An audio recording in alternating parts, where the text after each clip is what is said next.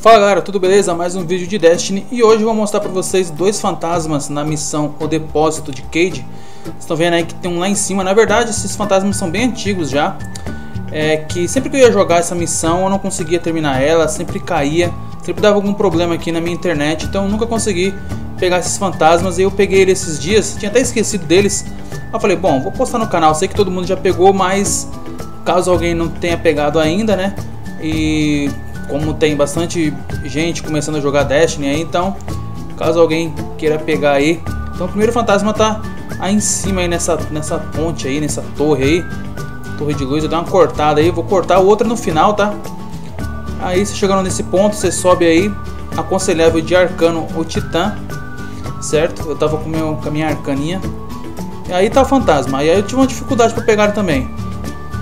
Tava bem tenso de pegar ele aí, eu fui lá e mudei pro anjo de luz, né? Que ao mirar você fica flutuando.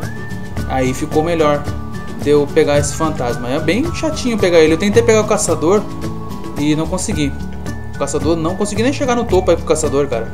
Não sei se tem um jeito de chegar o caçador em cima, mas eu não consegui. E aí tá o fantasminha aí. Beleza?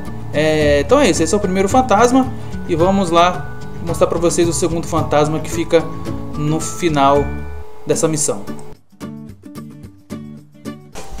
Então beleza, chegamos aí no final da missão, né, onde vai vir a sombra do Oryx.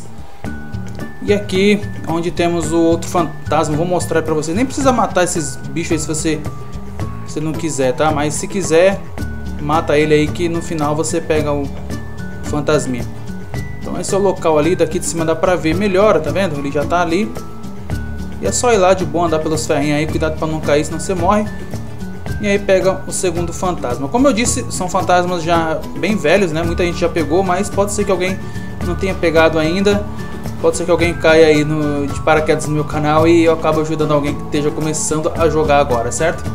É, então é isso. Espero que tenham gostado do vídeo aí. Sei que não estou trazendo muito vídeo de Destiny porque tá bem tenso mesmo. Mas eu vou dar um jeito aí de trazer mais vídeos aí pra vocês, certo? Vou ficando por aqui.